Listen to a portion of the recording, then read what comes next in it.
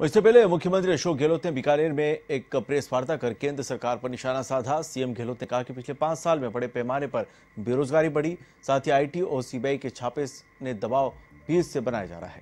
देश का लोकतंत्र और संविधान आज खतरे में है। बीजेपी सिर्फ़ मार्केटिंग पर ज़ोर देती है, मोदी जी केवल अपनी पब्लिसिटी करते हैं।